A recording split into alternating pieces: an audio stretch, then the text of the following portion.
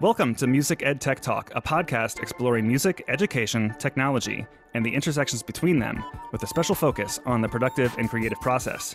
I'm your host, Robby Burns. Thanks to my sponsor this week, Scale Exercise Play Along Tracks. With me today is Heath Jones, author of Music Technology 101 from Hal Leonard, and the executive editor and founder of MuTechTeacherNet.com. After meeting at the Ohio Music Educators Association conference last winter and having loads of great conversation, uh, we decided that we would continue this conversation on this very show. Uh, I've done my best to edit these recordings into one coherent episode. I lost a little bit of audio in the file transfer process, and uh, we had a couple hiccups with scheduling too, so we recorded over three different sessions. We had lots of great conversation, and I preserved most of it and learned a lot. So I've uh, spliced it all together as best I can here. Hope you enjoy it.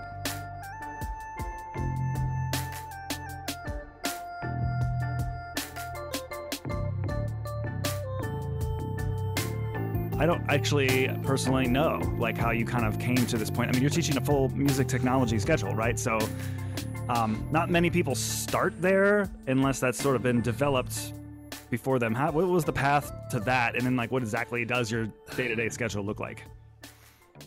Well, I, yeah, I tell people what a long, strange journey it has been. Yep. Um, and nobody uh, is more surprised or shocked that I'm doing what I'm doing now than I am.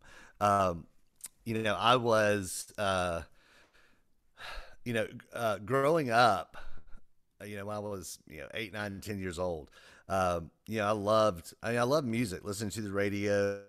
Um, you know, my parents, uh, my mom was an elementary school teacher and, you know, my dad worked in a grocery store and, but they loved music. The radio was on all the time two groups in particular Bruce Springsteen and the E Street Band. They had a tenor sax player, Clarence uh, Clemons.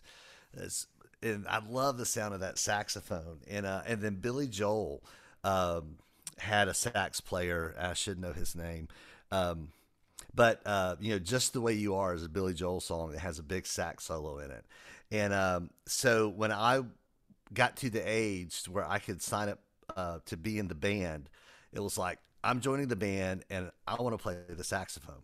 And um, so yeah, so like sixth grade, you know, I started beginning band, um, and I was a band kid, um, you know, all the way. Uh, so, and I went to a, a, really small rural school in South Carolina.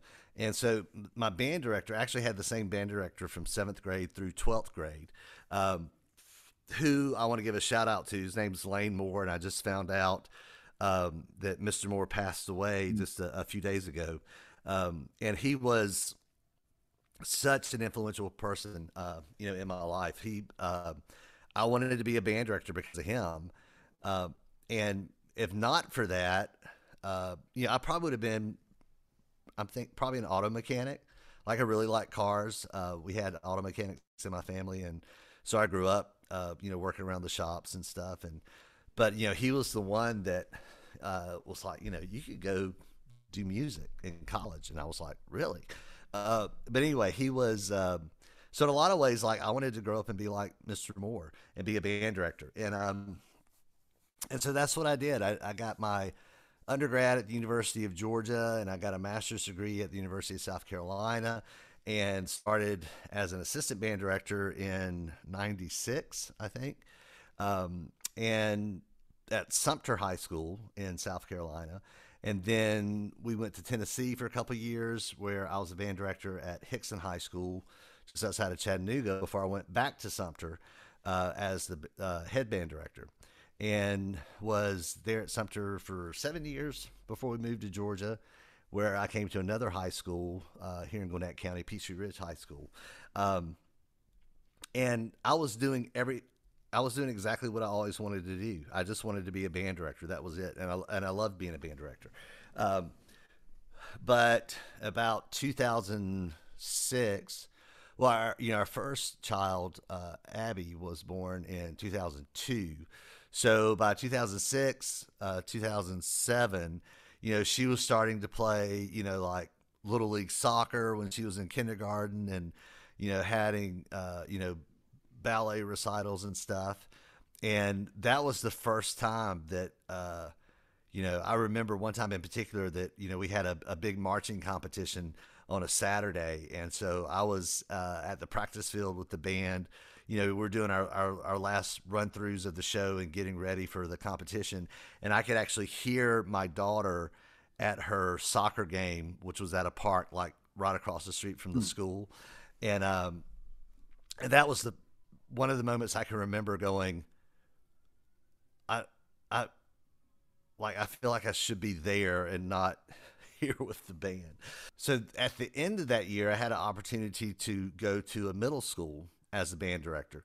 Um, and I thought, you know, if I go to middle school band, I don't, you know, there's no Friday night football games, uh, no booster club meetings, uh, you know, Saturday competitions, you know, spring band trips, um, you know, and how hard can middle school band be after doing high school band for you know 15 years and uh it didn't it didn't take me too long um, to realize how difficult it was to be a middle school band director. You know, I called one of my former colleagues who was an assistant with me at the high school, uh, who had started uh, as a middle school director and then went back to middle school. You know, I called her and um, and I was like, they don't they don't know anything, and she went, Yes, that's that's why they're called beginners.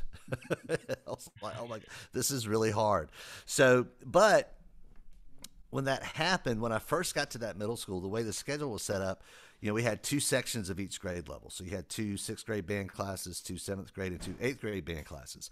But the year that I was there, there weren't enough kids in the eighth grade band to have two sections.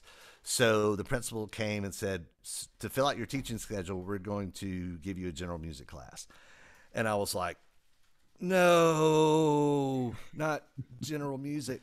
Um, because, you know, it's, they just kind of, you know, randomly assign students to that class who, um, let's say, have varying levels of commitment to wanting to learn that content.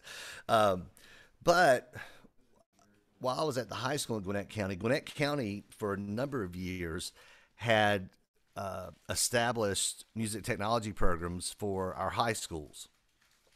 And the high school I was at had all this equipment uh, for a music technology lab. You know, Apple desktop computers, they had uh, MIDI synthesizers, um, you know, they had uh, you know GarageBand, Reason, um, you know, all the software, and I would use it every now and then. Like when, if I was teaching an AP Music Theory class, we'd go in and use like Finale or something to do some stuff. But anyway, so when I was doing this music tech class, I was like, oh my gosh, I got to figure out something to get the kids somehow engaged or interested in what we were doing. So right next to the band room or around the corner from the band room, there was a PC lab. Um, and during that block that I had the general music class, I would just reserve the PC lab. And I started taking the kids over there, and um, one of our tech people at school, uh, who is uh, is still a professional musician, but left a life of uh, studio performance to go into uh, education technology. So I went to him and I said, "Can you push Audacity out to all the computers in that one lab?" And he was like, "Yeah, well, I can do that." So he pushed Audacity out, and then we'd go in the lab and we would go find anything on the internet that was free. Um, like Fruity Loops at the time was big. So, you know, yeah. now it's FL Studio because that sounds much more uh, professional than Fruity Loops. But so, you know, we download loops. We talk about, you know, the history of rock and roll and and trace different um, you know musicians from like James Brown to you know Prince and Michael Jackson to you know current artist uh, Bruno Mars or whatever. Um, and I was just making it up and. Um, but I, I called our fine arts supervisor for the county and I was like, I know we don't have music technology programs for the middle school. I said, but I also know that there are some high schools that aren't fully utilizing the equipment that they have. Is there any way we I could get my hands on some of that equipment and why don't we start a music tech program for middle school? And uh, my principal was all for it. Sounds great.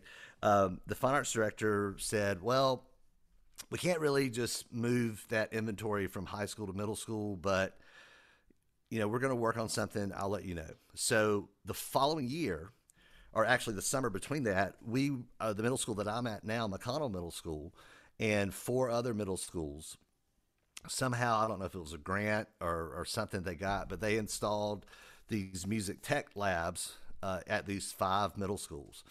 And we were one of them. And so now I had a music technology lab, and it wasn't called music technology because there was no curriculum. Um, it was, I think, technically it was still general music, but now we were doing it uh, in a computer lab. So the only problem at this point was I'm not a tech person at all. Um, so, you know, that first semester uh, that we were in that music tech lab, the students figured out uh, fairly quickly. Like if they just wanted a free day, someone just had to raise their hand and go, "Hey, Mr. Jones, we can't hear any sound coming out of our computer." Because it would take me basically the rest of the period just to try to figure out why the sound wasn't working um, before I had any idea about inputs and outputs and signal flow and any. I was just like, I don't know. Let's start pressing knobs and turning buttons.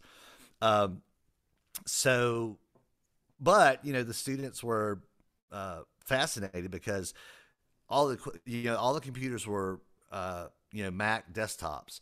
So every other computer in, in the school is you know just a PC black box uh, Dell or whatever. So the kids that were in the class were like, "Oh, this is so cool! We've got like these nice computers, and we have these synthesizers at each of the workstations." Um, and so I, you know, went into teaching that the following year, uh, and I was still doing it for just one section of eighth grade. Um, and so that second year, they went, well, now that we have these labs in the middle schools, we probably should have a curriculum. Um, and we need uh, some folks to get together and create a curriculum. Um, and I don't know how I ended up um, on the committee, but I did. So it was me and uh, a couple other people that sat down. And um, and, you know, looking back, I don't know that what we did was intentional, but I think it was the only way that we knew how to do it. So, and what I mean by that was when it came to go, okay, we have this curric- uh, we have this class, and we're going to create a curriculum. What's it going to be? Well, for me, I didn't know. I knew very little about technology. Um, you know, as a band director, I, I, didn't need technology. All I needed was like a Dr. Beat uh, you know, in a in a, a strobo tuner at the front of the room. I mean, that was pretty much it. So when it came to creating the curriculum, um, I had to, I gravitated to what I knew, which was music. So if the curriculum was going to be centered on kind of teaching technology or, you know, teaching the elements and the equipment that you might see in a recording studio, I had no idea you know how to use a mixer or a compressor or how to really use you know an EQ. I thought it was just like knobs you got to play with on a fancy stereo or whatever. So the curriculum from the beginning was rooted in music and music creation. Um, and one of um, and then I did start reaching out to people because, like I said, the high schools had an established curriculum, and there were several schools that had well developed programs. Ken Simpson was ran the music technology program at Brookwood High School and had been was probably one of the first ones uh, in Georgia, uh, certainly if not uh, one of the first ones, um, you know, in the southeast of the country who had started the program. Um, and then um, Marion English, who was at North Gwinnett High School, uh, who was still uh, teaching at the time. But I went to both of them and like said, you know, what do you do in music technology? How are you doing this? And so they were they were super helpful. And then another thing that was really influential for me was I found a book. Uh, the book's called The Dawn of the DAW. And it's written by uh, Dr. Adam Patrick Bell, who's on the faculty, uh, I believe, at the University of Calgary, and was one of the only college level um, music educator people that I could find that was approaching music technology from the standpoint of music education. And uh, it's a great book, but one of the the biggest takeaways I took away from that book was, you know, he said the technology is the instrument that you're teaching. And I got that because, you know, as a band director or an orchestra director, you know, we're not a how to play a trump how to play a trumpet teacher. You know, we are teaching students how to perform music. Um, you know, I was a two. Uh, you know, I started off on saxophone. Uh, long story, but I ended up playing saxophone and tuba in high school.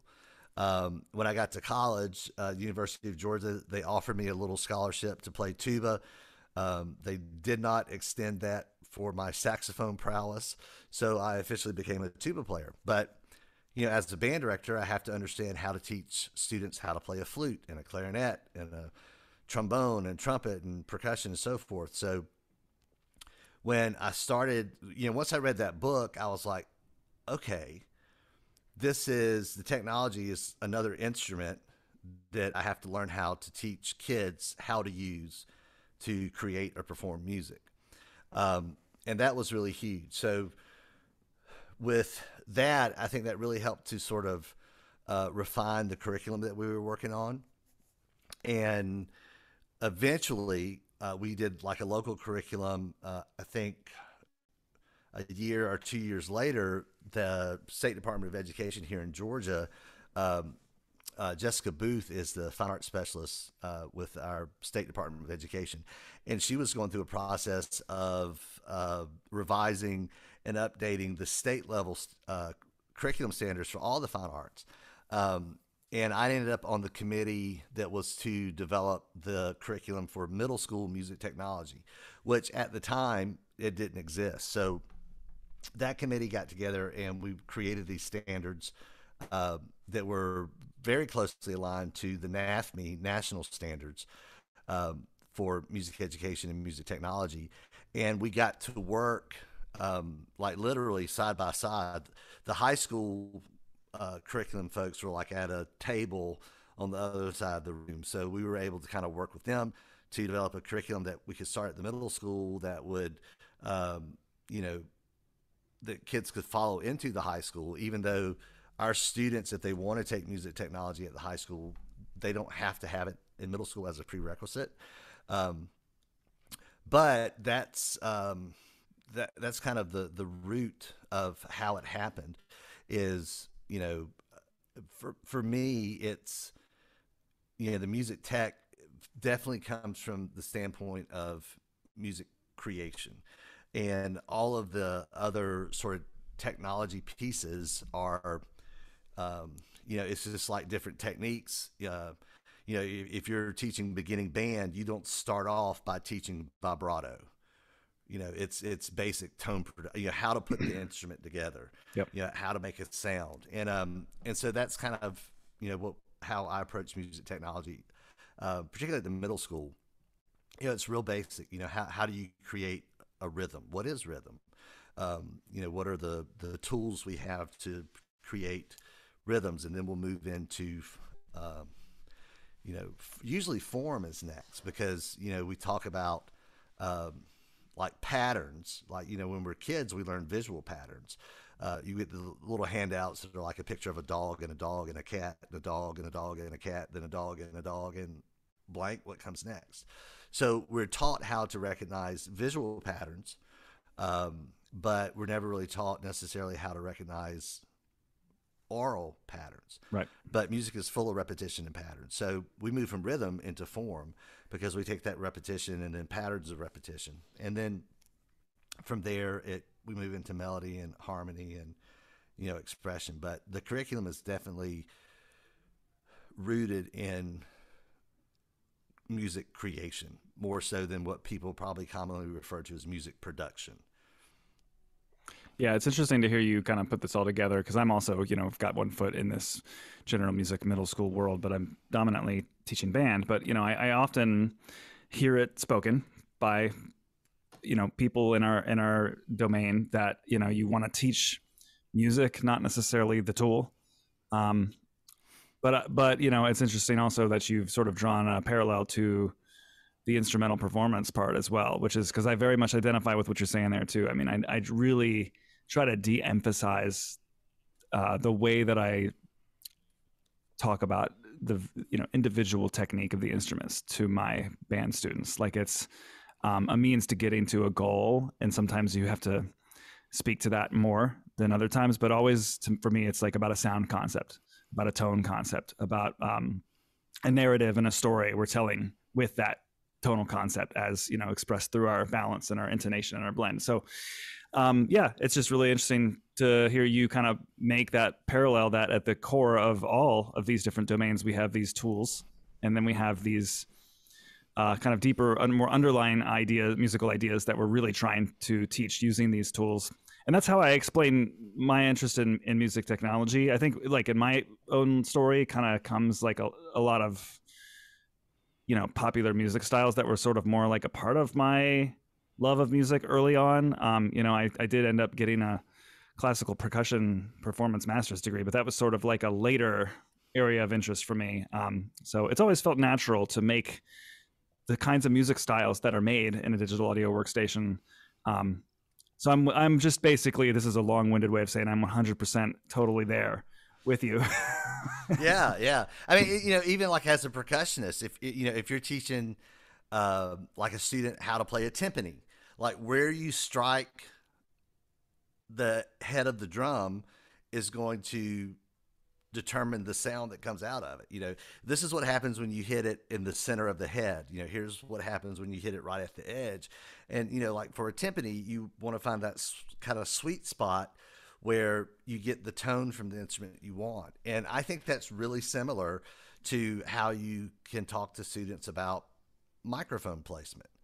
Um, you know, let's say you're trying to mic a guitar amp. Well, where you place that microphone, how close you put it to the amp, you know where you put it uh, you know makes a difference in the sound.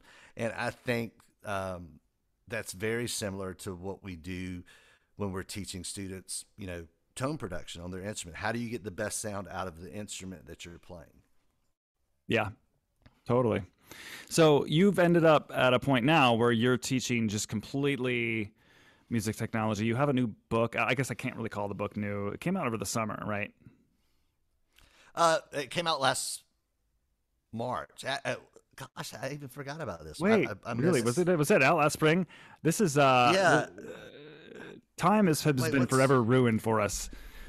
I know. For it what's today? March twenty six. You know what? I think it came out almost. I think it was a year ago yesterday. I think it was March 25th last oh, year. Well, happy wow, anniversary. Yeah. yeah. Um, well, the book is called Music Technology 101. There's lots of like books that help that are there to help teachers navigate this space. What do you feel like was the the hole in in the music technology education space that you were trying to fill? Like, what was the need you saw for a book, and how did your how did this whole like your whole pathway into this space? Like, how did you sort of like use that experience to fill the pages of this book? Well, um, yeah, that's a great question.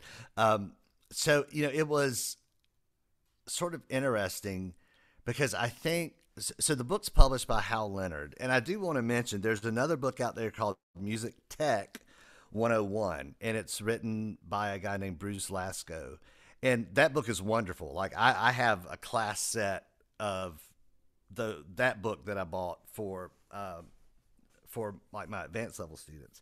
But Hal Leonard, and I think it's an Alfred publication, so uh, but Hal Leonard came to me maybe in 2019 with an idea about they were like, "Hey, we're thinking about publishing a book about you know music technology. Someone said that maybe you would be a person to contact about writing it. Would you be interested?" I was like, "Yeah, well, yeah, sure." Um, and so I sort of kind of started this. Um, you know, they wanted like a table of content, so you know, I already had developed a lot of stuff um, as far as curriculum went because of the work I was I'd done with Gwinnett County and the Department of Education, uh, and I'd gone out. Um, I guess 2017 is when I first started 2018 maybe was the first conference I did that was uh, it was NAFME, the NAFME conference in uh, Dallas about music tech. Um, but they had talked to me about writing a book, and I was like, yeah, yeah. Um, and then I never really got going on it because you know I, I, had all this information, but how do you put it together uh, in a book? Um, and you know the COVID thing started coming along, and I sort of was dragging it out, and so finally, um, you know, they were like, okay, if you're going to write the book, write the book. If you're not going to write the book, that's cool. Just let us know. Um, and that was the summer that we were, the spring and summer that we were going into COVID lockdown. Right. So I had lots of time on my hands, and I was like, well, no, let's, okay, I'm, I'm going to write this thing. So um, I, maybe COVID's the reason ultimately that that I did it because I had time. Um, you know, I had time on my hands where I could actually sit down and, and focus on it. So, but one of the, you know, w- one of the things that I tell any teacher that I've talked to uh, about this, but because you know when I even at, here in Georgia, um, I took over as the music technology chair for GMEA uh, at about the same time. I think it was 2020 or 2019. About that time, I took over as the music tech chair, and up until that time, if you said music technology in terms of you know our state association or conference what they were talking about was you know how mm-hmm. can you implement new technologies in the band classroom or orchestra classroom or general music classroom um, it wasn't really talked about as a specific content area so as that started to develop uh, here in our state and people would ask me you know so what do you teach and i go well i teach music technology and they would sort of look at me for a second and go um, okay, so what what does that mean? uh, what is that exactly? Um, and so you know when I started uh, you know developing this stuff. Um, and this, by the way, um, might be the introduction to another book that I'm trying to work on now. But you know, one of the issues is if you have a music education degree that you've gotten from you know your state, uh, you know, university, school, wherever, um, you were not taught how to teach music technology. Um, you were taught how to teach band, orchestra, choir, general music. You know, because um, people will say, "How you know? How did you get certified to teach music technology?" And I go, "I'm not." I went, "Nobody is that I know of." Um, I said, "You know, I have a music education degree, but I didn't know anything about it." Um, and and that's one of the things that you know, going back to the curriculum that was really interesting is as I look back on it, I was given an opportunity to create what I was going to teach. This, uh, not that I was the only one, there were, you know, other people on the committee, but I, I got to develop this new curriculum. But none of us that have a music ed degree have been taught how to teach this as a content area. And, and this goes way back. Like I, uh, you know, we can uh, go back to, you know, the 1950s when the recording industry, you know, really exploded. And you can see how quote unquote popular music and recording went one way and the university conservatory model stayed on the same course that it's been on for 250 years. But, you know, those were considered two different things.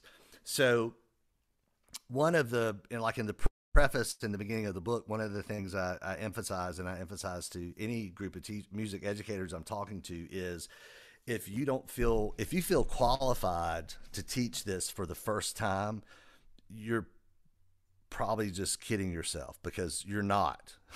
None of us are. None of us have been, you know, for the most part, have been taught how to do this, um, unless you know your personal background. You had interest in recording or you know popular music or, or whatever. So the first, so some of it is the first part of the book is explaining how when I came at this, I had no idea what I was doing. Um, I w- we were literally, you know, the old saying, you know, flying the plane as you're building it um, was was what was happening. Um, so there was no one who could have felt more unprepared than I did when I started doing it. So part of the beginning is don't be afraid of this, and then, like I mentioned before, a lot of um, like what we've talked about, I do relate what I do to how I was teaching band, and I, I actually I taught band and orchestra both for uh, I guess the first four years of of of uh, my professional life. Um, so a lot of the approach, one of the things that I think that I tried to do in the book is present this in a way that makes sense to music educators. Um, so if it's written in, uh, I think, a very easy to understand way, like I, I, you know, I've picked up books on, you know, things like, you know, compression and sound envelopes and filters, and there are all these mathematical equations and graphs, and I'm like, I just close the book and move on. So it's written from the perspective of a music educator.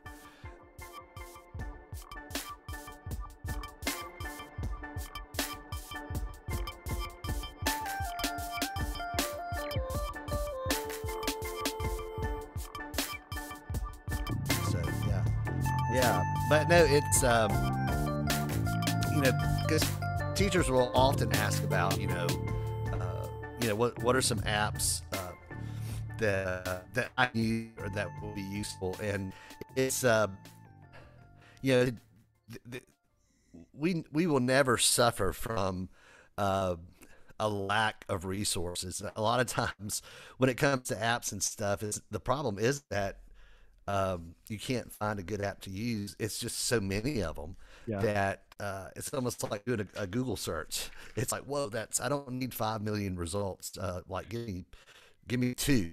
Um, so it's uh, you know, it can kind of you know a little overwhelming sometimes. So, and I do like in a lot of my sessions and stuff that um, that I do. I talk a lot about Soundtrap and I talk a lot about Noteflight and um, but I always you know will preface that and say those aren't the only ones. Uh, you know, there are other uh, you know cloud based and um, you know DAWs and notation programs. So um, you know if there's something that works good for you personally, uh, you know, use that one. So, uh, any of the apps and stuff I talk about is stuff that I've used and and, and I like. Um, so, but yeah, but when it comes, a couple of apps uh, that I kind of have come across in the last uh, six months or so that I think are just really super cool, and I think uh, one in particular can be really useful for. Um, you know, not just specifically music technology courses, but can be really useful for you know your performance based classes like band, choir, orchestra. But one of them um, is called PlayScore Two, um, which is uh, was developed by a company in England, I believe. And you know, a lot of people may be familiar with uh, XML files, uh, how you can take like a piece of sheet music, and it used to be you could take a piece of sheet music and you could scan it and then you could take that scanned image and then import it into you know Finale or some other uh, sort of notation program.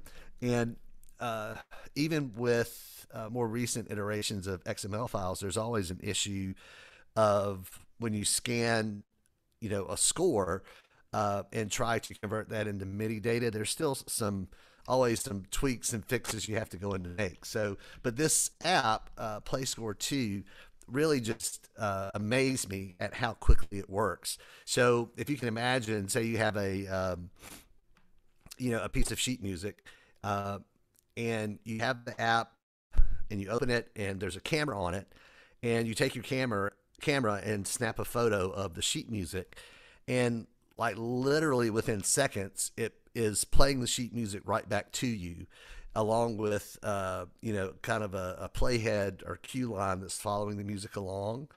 Um, and it's not just that it plays it back that quickly but there's a little slider. You can change the tempo um, almost immediately uh, to make it go slower or faster you can grab uh, like just a section of it uh, if you want it to just loop a section of the sheet music um, and uh, you can even go in um, you know, let's say, I, I think it could be particularly useful for like choir directors. Like I shared this with our choir director at my school. So you know, you know, a lot of choir directors uh, have to serve, you know, particularly in their classrooms, have to serve as their own, uh, you know, piano accompanist uh, along with working with their choir. Um, and the thing that's so cool about the PlayScore Two is like they can take a picture of that score, and it may be in SATB format. Um, you know, you could have a score like solo and ensemble um, you know, for uh, you know band and orchestra.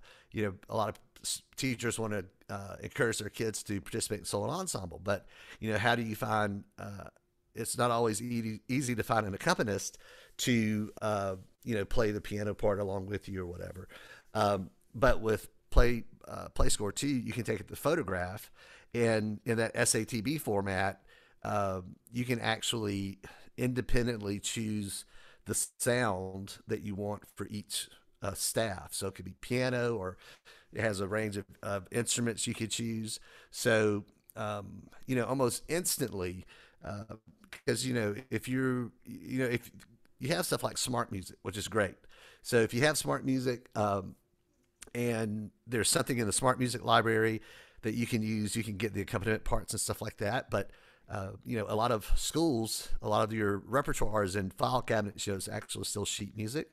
So if you don't have smart music, or you just find like you know maybe a piece of uh, a piece that you haven't performed in a while and you just have it in sheet music, you can just grab the score, take a picture of it, and within seconds you've got a uh, you know an audio file. It's a MIDI a MIDI file actually, but will play back. Um, and then you can share that file with your students. So the students could have, uh, you know, an audio uh, copy if they wanted to practice or sing along at home. Um, you know, even with if you say you scan something for uh, a solo and a piano accompaniment, you can mute the solo line. So you just have the piano accompaniment part that can be shared with a student to practice along with. Um, and there's lots of other. I mean, there's it's one of those things that uh, I think uh, there's a number of different ways you could probably uh, apply that to each individual kind of situation. But uh, PlayScore Two, I think, is really really cool. Um, you can't, you know, for teachers, I think uh, there's like uh, I think maybe it's I'm not sure if it works actually if it works on a subscription basis or if it's it like a one time app. Yeah, it's a it's a um, subscription fee. But yeah, it's a subscription, but I'm pretty sure like the student version is free for students. Yeah, so it's uh, uh, I, I was first introduced to that maybe last fall, and um, but yeah, PlayScore two I think is super cool, and and it it really is just because how quickly and efficiently it works. Um, so it's not like you have to, you know, actually scan it and then you know transfer the file into a notation software or like right there. That's so that's usually what I cool. want to do with it when I'm using one of these kinds of like XML scanning apps. But what they've done is they've uh, uh, it obviously does all of that exporting kind of stuff. Like you can export it. Yeah, yeah. You know, any standard file type you would expect to work in a digital audio workstation. But um, they've also kind of prioritized this sort of like instant playback. Like it really does feel like you can instantly, whether, whether you actually are like trying to use it as an accompaniment to practice along to, or if you're the kind of person who just wants to quickly check to see how accurately um, it, it did your scan, it's pretty quick to start hitting the play button. And I've been pretty impressed. I've been doing a lot of testing. I'm kind of drafting a blog post about my experiences using PlayScore, and um, it's you know there's a lot to love. So that's cool.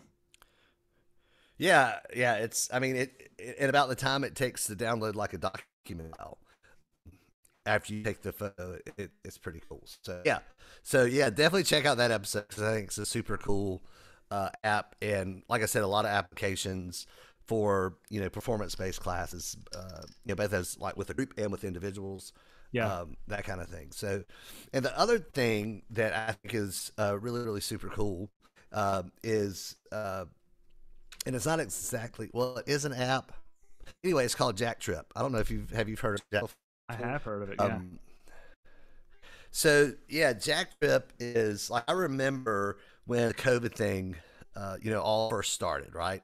And um, and some people may be familiar with like Eric Whitacre's you know, like virtual choir that he started actually some years back, and you know it was like pretty amazing because people are like, oh wow, he's you know bringing all of these you know people together from around the globe and and they're performing together uh, in virtual reality. And um and it was pretty cool but um you know a lot of us uh, non leg musicians don't uh, uh, there's a lot of things out there you know we don't really understand what it takes to make things happen that we you know, hear and see but um you know when the covid came out in an app. What's that app? Acapella, I think is what it was called, where you know, people could use their phones to record themselves, you know, playing a quintet or quartet, and then it would produce this kind of um, performance where everything, you know, all the different tracks from the different videos were lined up.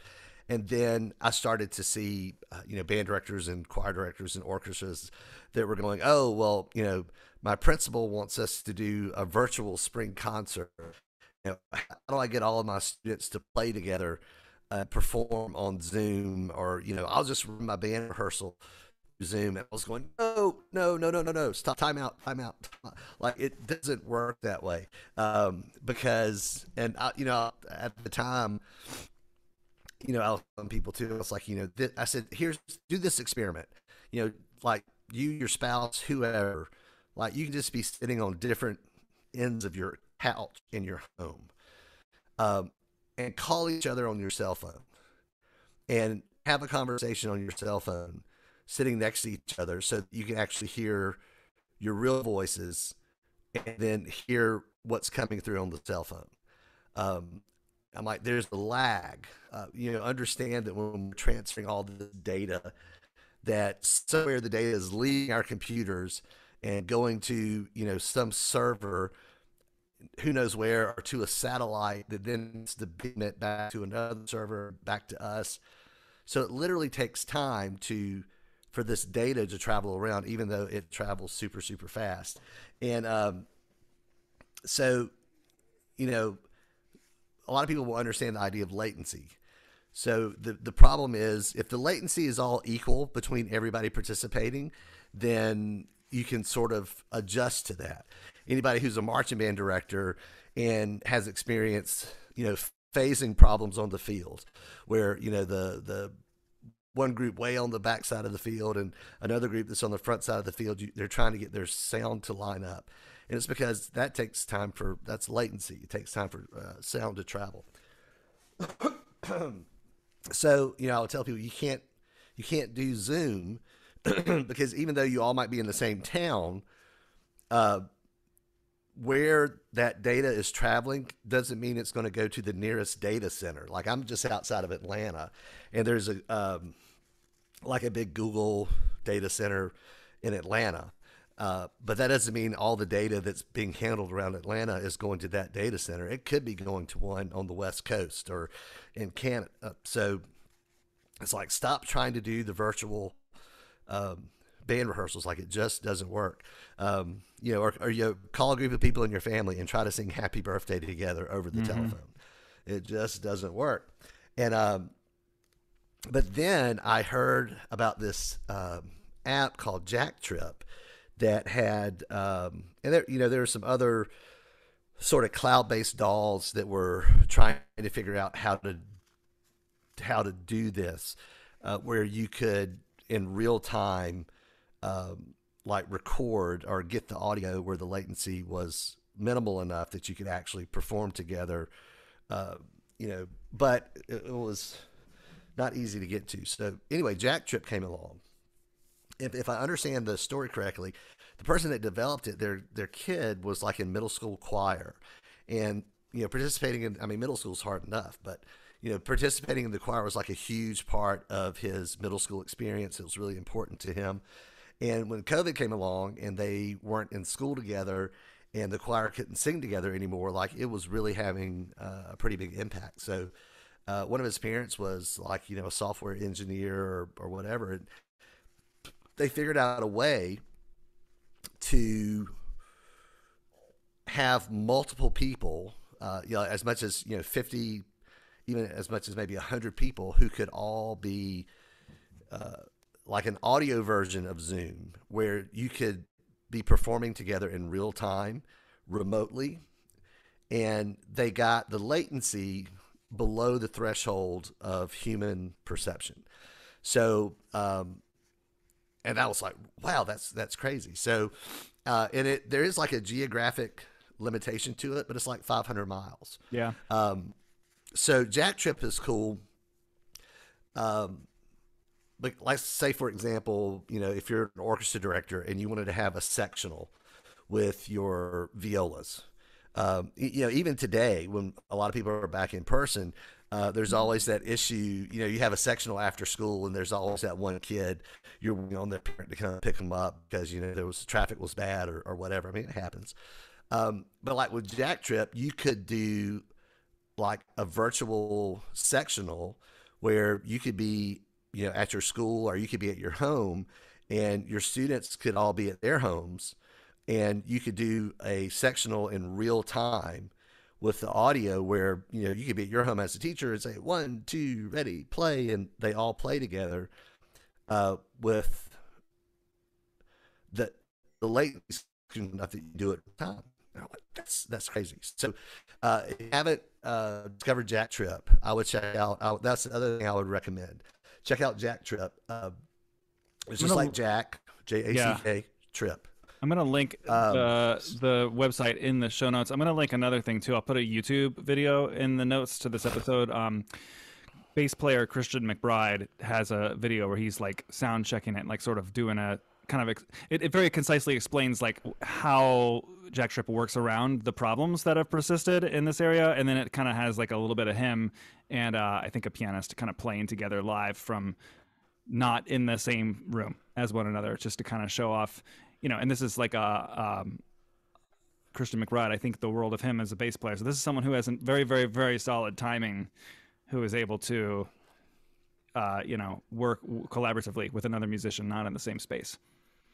Yeah, my my daughter and I have actually tried this. Um, she's a, uh sophomore music ed major at the University of Georgia, and she's about 35 miles away, and we've just kind of messed around with it too. And it's it works. It's, it's very very impressive. So, yeah, I would definitely say check those out. All right, so I'm going to kind of um, interpret my own segment a little differently this week. Typically, I do an app pick. I actually want to um, highlight two developers this week. Um, both are uh, companies that are Ukrainian and that make excellent software. Um, I guess I would consider them both to be sort of like productivity and utility software. And like right now, I just want to call out these companies um, because uh, I think like I depend on their apps. Uh, like almost more than any other company that I can think of, where like a company has like numerous apps that I that I use. So I'll, I'll just like highlight a couple apps from each company. So, and I think I'm saying this wrong. I think it's pronounced Readle or Readdle. It's R E A D D L E, and they are the makers of a couple of great apps. PDF Expert is one of them. Uh, so the Spark email app is another one. They've got a great iOS app that is um, great for managing your Google Drive and your Dropbox stuff. The app is called Documents.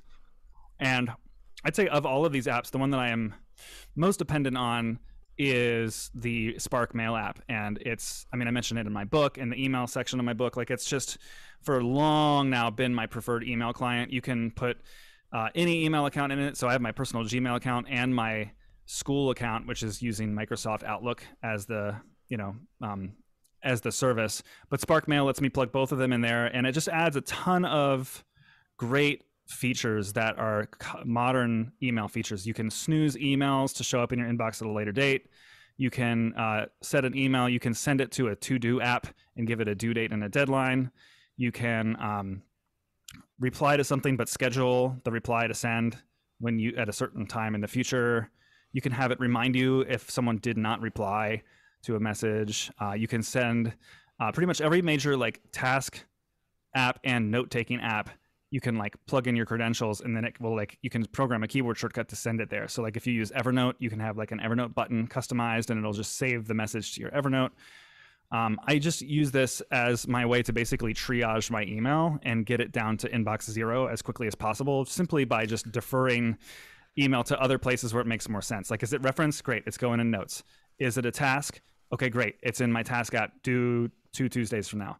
Um, so they're they're just like uh, that is an integral app that I live inside of uh, hourly almost. It seems. Um, the other developer I want to call it is called MacPaw, and they're um, specifically making software for the Mac. Um, you know, I'm I usually don't suggest that people look for like cleanup or virus software if they have a Mac, but um, MacPaw is an extremely reputable Mac developer um, group of Mac developers, and they just really understand how Mac OS works. And they make a great app called CleanMyMac, which is really good. It's got like a one-click button that sort of scans a bunch of various different volumes on your hard disk and sort of smartly looks at like where the junk is that you don't need, and it uh, you know it understands what actually your system does and doesn't need, and very very cautiously and carefully and dependably um, can save you some extra space. Not only that, but though it can like re-index Spotlight, it can clean out unneeded files inside of the Mail app. Uh, can safely uninstall apps because you know, like if you get something on the Mac App Store, you can just delete it, and that's counts as an uninstall. But like if you're using something like the Adobe Suite, which has a more complex uninstall, um, it's got like an easy way to uninstall lots and lots of software from varying different locations on the web all at once. It's, they're just really great. But what they what I really like is they also have a service called Setapp, and it's kind of like a Netflix for Mac apps. You spend, um, I think it's ten bucks a month, but you can actually apply for an educator discount, which I think is like five or six bucks a month, and it's got. I, I mean, like I use at least ten apps from this. It's got, I think, how many apps does it have? It feels like almost hundred apps are in a part of it. Let me just see what's if I can find all of them. Um, uh, I, there's at least ten that I use on a regular basis. Yeah, I'm just scrolling through the long list. It's got to be at least 100. It's a lot of apps. Um, I'll just name count out a few. One of them is called uh, Yoink, which when you start dragging a file on your hard drive, it a little shelf appears on the left, and you can like drag an item to that shelf and just kind of leave it there, and like a sort of a temporary workspace where you can drag some work, some stuff, and then you can later like drop it into an email. Um, there's something I called use called Downie, which allows you to take a video or an audio snippet from a website and just download it as an MP3 or a video file to your downloads folder. Uh, and that exists as an extension for Safari and Chrome as well. Um, I'll do, give you one more. Um, there's another one called Permute, which is like the easiest to use file conversion app that I've found. And these are all like, you know, 30 or 40 buck apps, but like for, you know, six or seven dollars a month, you just have like a ton of like really really well made and specifically curated apps for the Mac that all do like basically solve these little like um, niche kind of like pain points of using Mac OS. Uh, there, oh, there's another one called CleanShot, which makes screenshotting super powerful. Like it saves your screenshots in a temporary zone in the lower left corner of the screen, and you can like pin them, annotate them without even like saving them anywhere. And then you can copy them to your clipboard, and then cl- you know drag them into a text message or an email or um, save them to a specific location on your hard drive. Just tons of little little things that like. Um, I'm only scratching. I mean, there's got to be at least ten other apps from this collection that I use daily. So, uh, major shout out to Readdle and MacPaw and all of their many very many fine apps. Hopefully that wasn't too much. no, I'm, I'm sitting here um, like making notes, uh, taking some notes about all that stuff. Um, yeah, that's super cool. Yeah, because as you were talking, I, you know, I pulled uh, Setapp up on my end, and yeah, it's definitely one of those. When I looked at it, I was like, "Oh my gosh, why haven't I heard of this before?" So yeah, thanks for that, Jared, because I, I can't wait to dig in.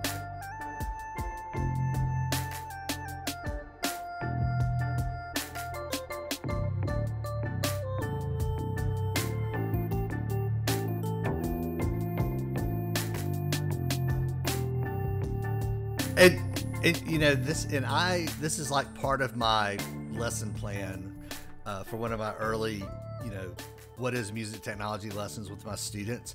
Um, and I'm dating myself a little bit, but it's true. Like I, I vividly remember when Michael Jackson's Thriller album came out that I had to get my mom. I wasn't old enough to drive yet. I had to get my mom to drive me to the mall. Um, like you know the mall opened at like 9 a.m and like we got there at like 8.30 a.m and already there was a line from the record store inside the mall, you know, twisting down through the mall to the the entry doors outside and down the sidewalk. And I went and got in line and stood in line uh, for like I don't probably like two hours. And when you finally got into the record store, they have these big bins or boxes that they would ship these albums in. And that's all they were. They were just, you know, people were just coming in to to buy an album, and you know, so I finally get my, uh, you know, my Thriller album, and uh, but even once I get it, it's like now, okay, I've got to uh, find a, a payphone to uh, call my mom and, and tell her to come pick me up. Right. Uh, so I could get back home to actually, you know, be able to listen to it. And, uh, you know, and I'll, I'll tell the kids, I'm like, yeah, I'm, I'm so, I'm so angry at you guys because, you know, today, if there's a new song or a new album, all you have to do is pull your phone out and click a couple buttons and you're listening to it in a matter of seconds. Um, I said, you know, back in the day when there was a new, you know, a new album, like you had to be committed if you wanted to be one of the first to get your hands on that album.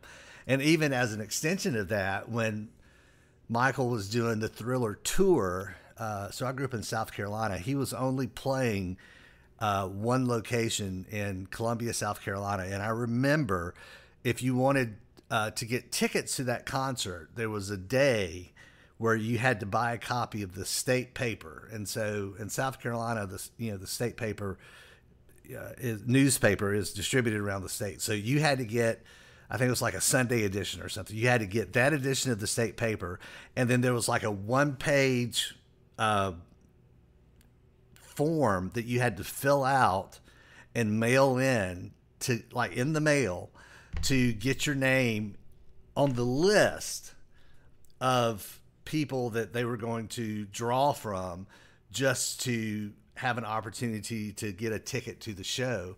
Um, because they were like, there's no way we're just going to open like a ticket window somewhere because it's going to be a mass of people. So, you know, even that, I you know, it's, I don't, even though the, the convenience that technology brings us is, is wonderful.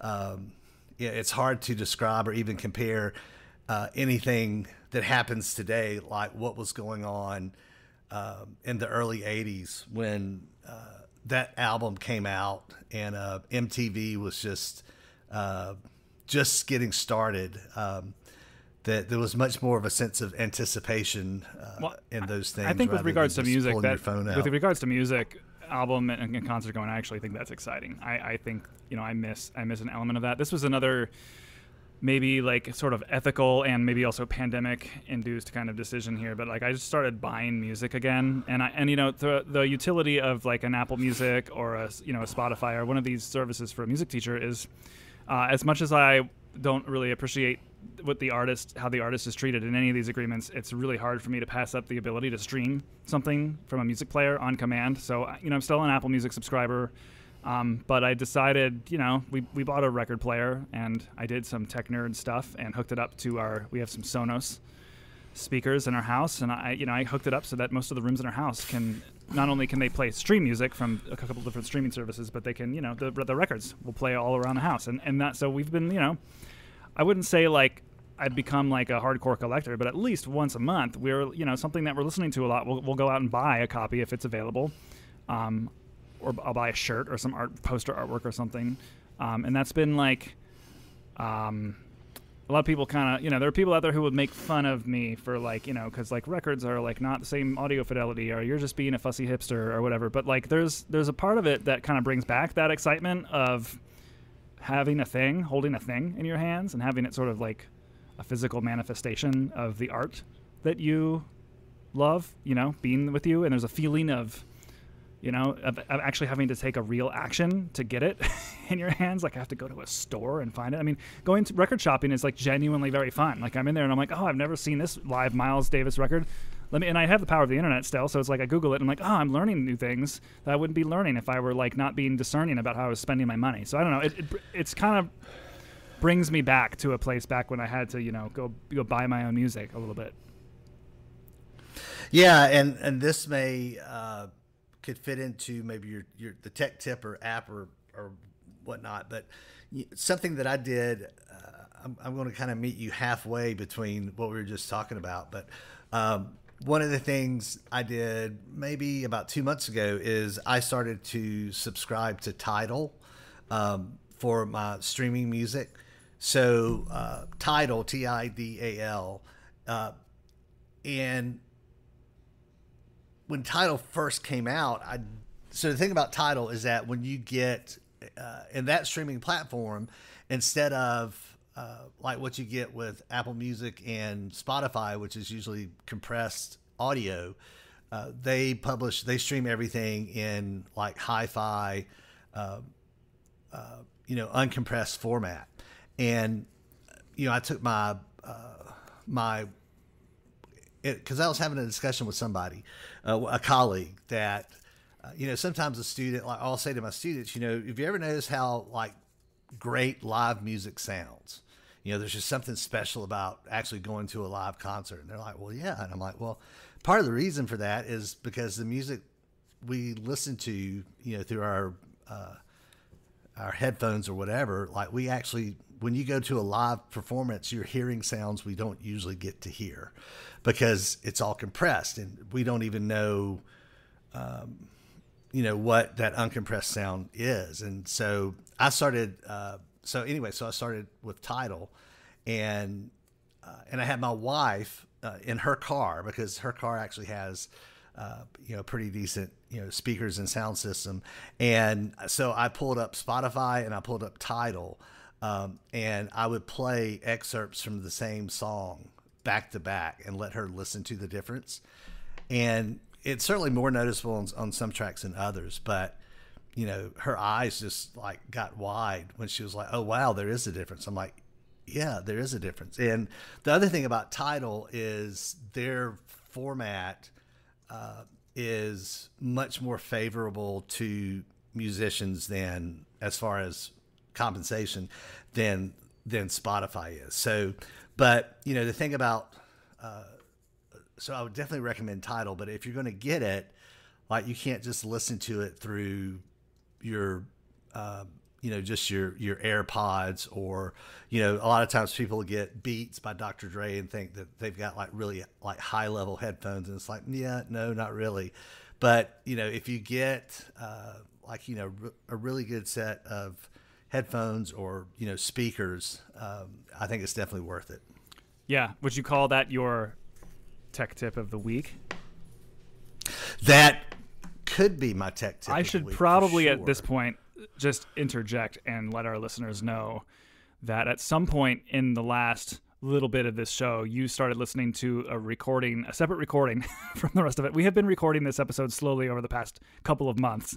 And uh, we got the last time we met, we got all the way up into the album and the tech tip of the week, and then I, I think I had to like go do bedtime or something or some something caught us up. And then I know we've the school year got the better of my time. You were on vacation last week. Like we, you've actually been extremely flexible, and I've just been a mess. So, uh, thank you for for being back here. And um, yeah, I think we're gonna.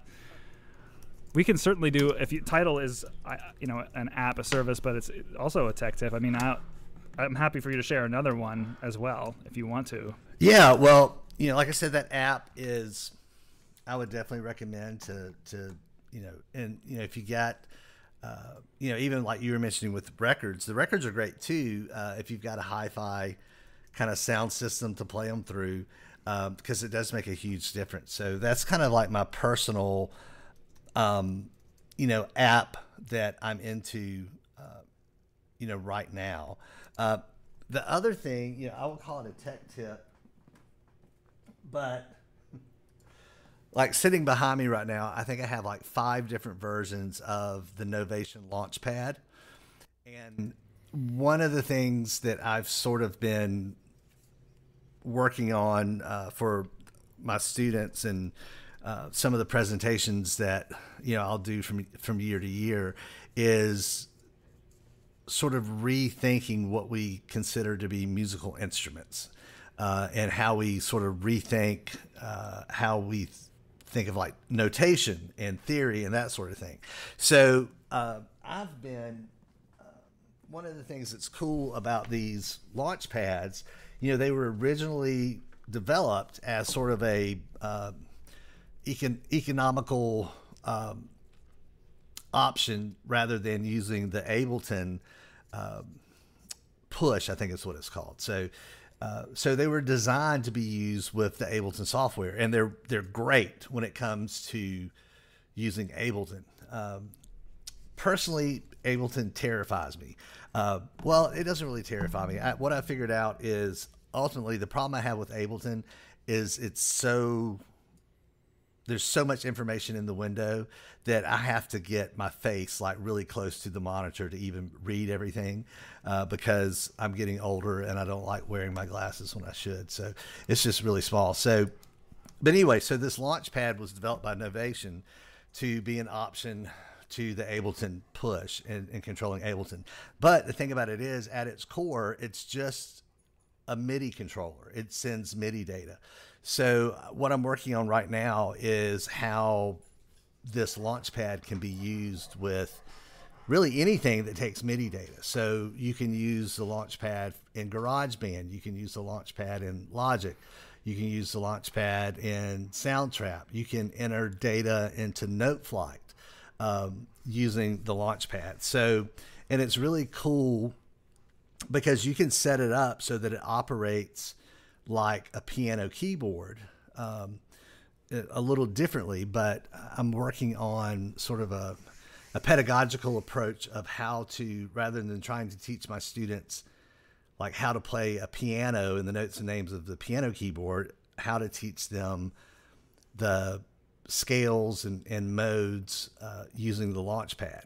So if you haven't checked out the Launchpad uh, by Novation, I, I think it's a really it's super versatile in how students or anyone can use it to create music from uh, you know it's a uh, it's an 8 by 8 grid pad controller. So it's you know 64 pads but you can use it to create drum beats. You can use it to create melodies. And like in logic pro it's so cool because you can go into logic pro and set up the arpeggiator um, or something similar in Logic Pro where like if you just press a single key, it'll create a chord.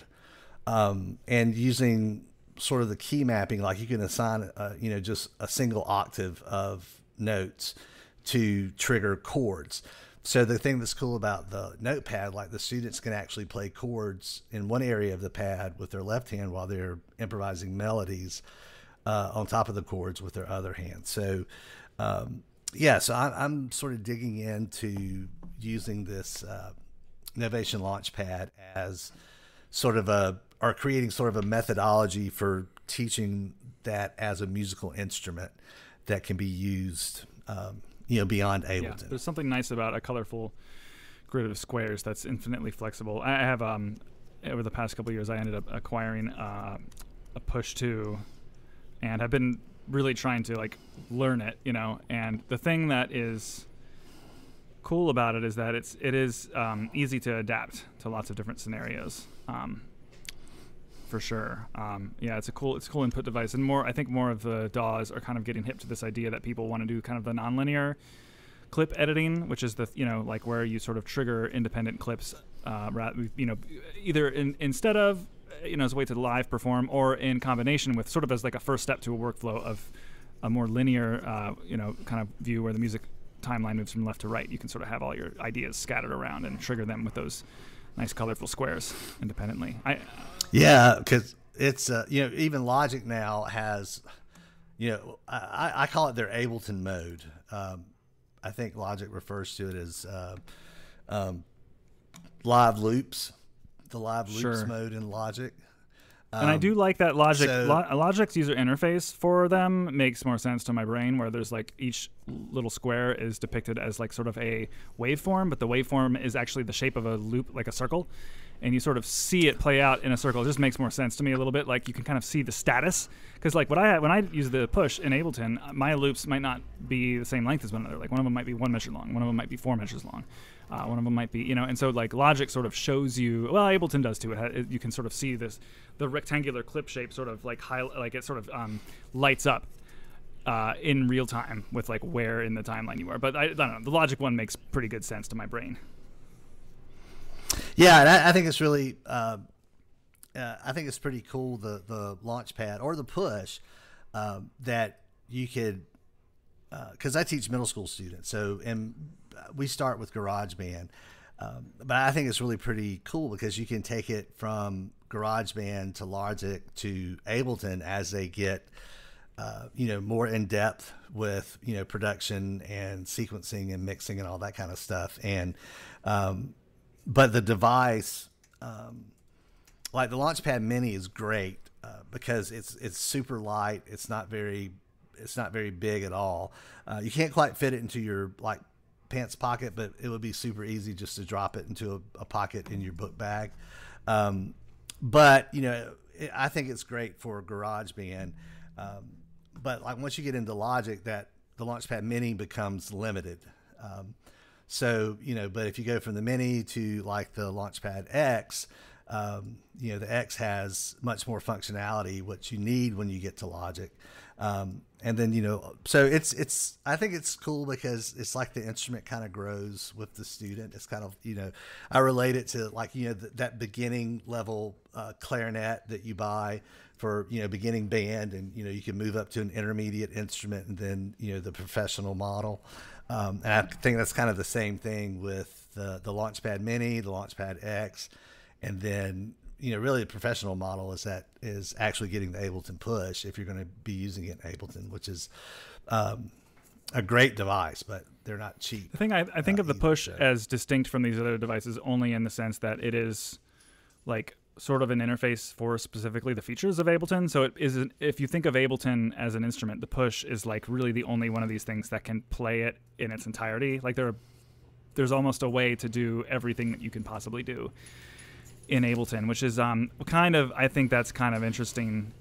Um, but yeah, it is the kind of situation though where I, I do wish that it was, um, you know, I wish that there was some sort of hardware device designed specifically for every DAW that I have. Not that I would want to have to go out and buy something as expensive as this for every DAW, but I, I like the idea that the software down to its even deepest feature sets is like something that I can do. I can do. I mean, I can even do it without the app being in the foreground because I can just kind of situate the the push. I use it sometimes in private lessons as a way to sort of like um, instead of a metronome, just to sort of like improvise, like in real time, like you know beats and loops along with my students when they're practicing very repetitively. It sort of make I don't know. I try to make it feel a little bit like they're at a DJ show or something. you know, they're like uh, something, something, oh, yeah. anything, yeah, I mean, anything definitely. other than just a click, click, click, click for you know the amount of hours. Because some of them really do um, not appreciate quite how many times you need to repeat something on an instrument to form a physical skill.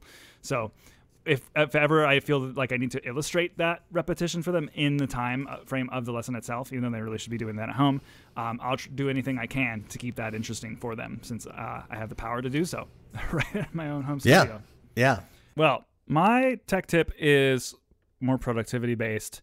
And this is, I realize this isn't going to be for everyone, but I came into a situation where it was something that I recently recommended to some colleagues of mine. Um, so time tracking is is something I've been experimenting with for the better part of the last year or two, a little bit more seriously than in the past. Like it's one of those things that never sticks for me, and it usually never sticks because if you're going to track your time, you have to be constantly remembering to start and stop these timers, or else you don't get an accurate representation.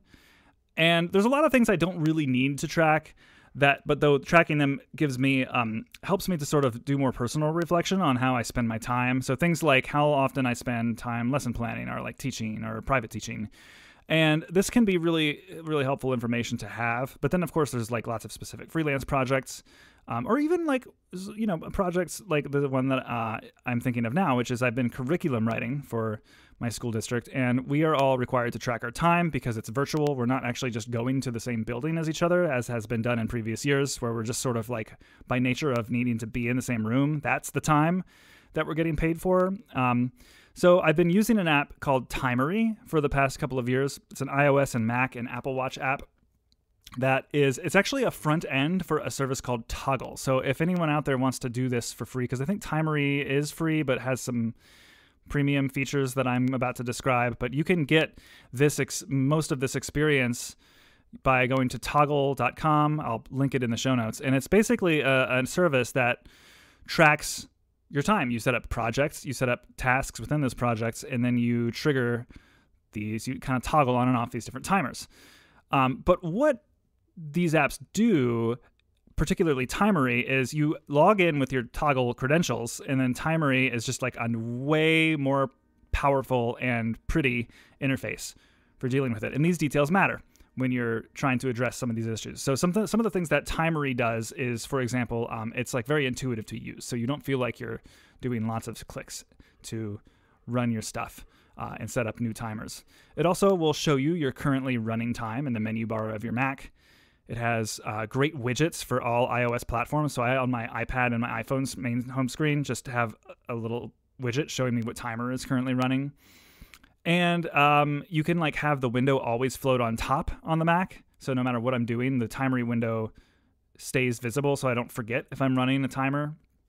It's got swipe gestures. Most importantly, it has shortcut support, so I actually can automate these timers by um, where you know like I can program my phone in the shortcuts app. I can say like when I arrive at work, start running my work timer, which is basically the timer I use when I'm like at my desk, kind of lesson planning and answering emails and things um, when I'm in teaching mode, when I like trigger into like um, I have a focus mode on my iPhone for when I'm teaching, which only allows my uh, teaching, you know, the music team notifications to reach my phone. But what it also does is when I turn on that focus mode, it starts a timer called teaching. And uh, it's great because I'm, you know, I'm timing this conversation right now, and I'll have a really accurate view at the end of the month, like how many hours did I spend recording this show, how many hours did I spend editing this show, and it's kind of a nice reflection tool. And having the app constantly just visible to me everywhere, even now on my watch face, is a great way to not only remember to start and stop the timers, but uh, I think this app makes it as easy as possible to actually do the act of starting and stopping the timers. So I recommend Timery slash Toggl is the underlying service. If people don't immediately understand that, it's kind of like how if you use like the mail app Outlook or like the Apple Mail app, you can use those apps for any email service. So like you can use a Gmail email account, but you can like plug it into your Apple Mail app or your Outlook email app or, or whatever your email app is of choice. So Timery is kind of like the client, it's the app, but Toggl is the underlying service. And they have their own apps too. Uh, I just don't like them very much. They're kind of ugly and weird. So anyway, that's me. Timery slash time tracking. Yeah, it's good. I automating it, making it happen automatically was the was the winning ticket for me. Is like a lot of my timers just automatically start. Yeah. All right. Well, cool. Um, gosh, I wish I could remember the rest of this conversation so that I could more adequately close us off here for the recorded part of our conversation anyway. But um, do you want to tell people where to find your stuff online? Like, where are you? Where if someone wants to like talk to you further, learn more about you, read your book, your any of your online stuff like your podcast, like where where are some places people should be directed towards? Uh, well, you know, probably the most central uh, location is my website, which is www.mutechteachernet.com. So that's a truncated version of Music Technology Teacher Network, mutechteachernet.com. And you can also email me directly uh, just at heath at mutechteachernet.com. Um, and I do have a YouTube channel where I've got tons of videos that I've created. Uh, a lot of them are videos that I've, I've, created for my students that I use in class. Um, so if you just go to YouTube and search Mutech TeacherNet, uh, you should be able to find it. And uh, it's always awesome to, if you like it, share it with your friends, you know, subscribe. Uh, you know, that always kind of helps out. And then, yeah, the, uh, my, the book, uh, Music Technology 101 was published. Uh, it's been out a little over a year, but you can find Music Technology 101 either on the Hal Leonard website or Amazon, or you should, you know, your local, you know, music uh, dealer distributor uh, would should be able to order it for you if you would like to order from your your local um, uh, music store, which is always something I encourage people to yeah, do. Yeah, totally. Well, awesome. Well, thank you so much for recording with me three times, and um, I'm looking forward to you know I'm gonna I'm gonna close this out here, but not actually get off the line. Um, looking forward to seeing you in person at the next the next music conference. Yeah, me too. And I appreciate you so much uh, taking the time to have me on your podcast, and I really appreciate um, all the things that you're doing and, and the resources that you're putting out. Uh, you know, for teachers and uh, uh, and stuff to use has been you know super helpful. So uh, thanks for letting me be a part of that, and, and, and thanks for all the other stuff that's out there that that that I use and reference uh, quite often myself. Today, I would like to introduce you to my scale exercise play along tracks with trap beats, available for sale at robbyburns.com.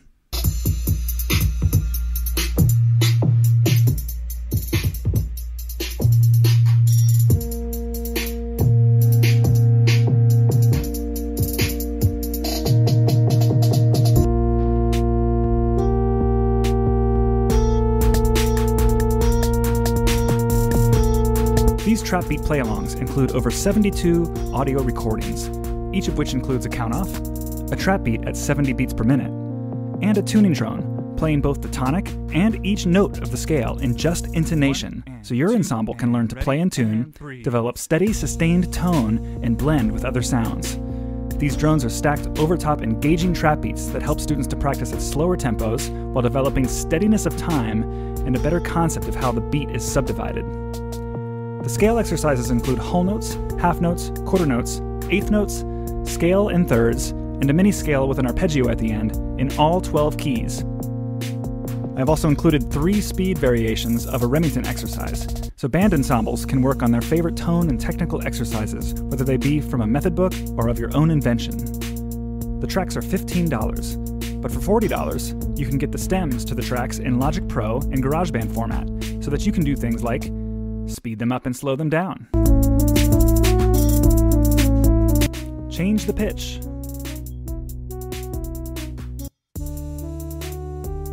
Add your own accompaniment.